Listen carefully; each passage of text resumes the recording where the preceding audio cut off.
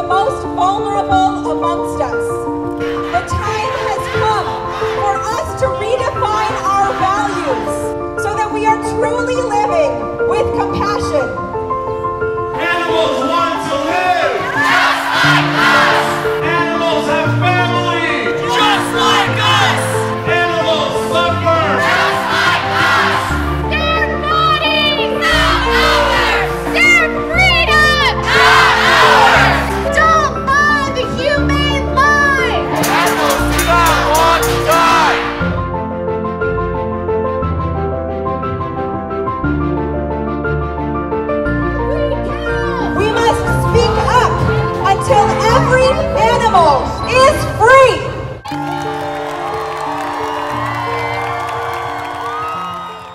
I'm a fan of animals, of course, right? Dog lover all the way.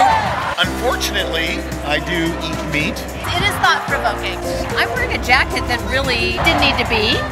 We walked with them a little bit. I like the fact that there was no anger in it. I have watched some videos on how how they do mass slaughtering of cows and chicken and stuff like that, which kind of upsets me.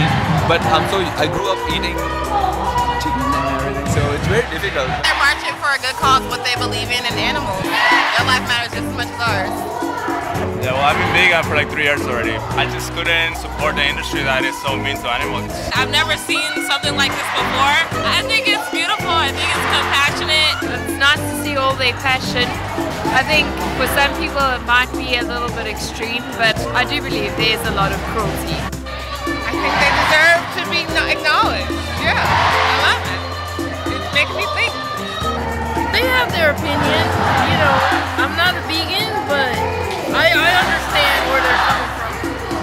daughter just went vegan like three months ago. I think that she's doing something that the whole family can learn from.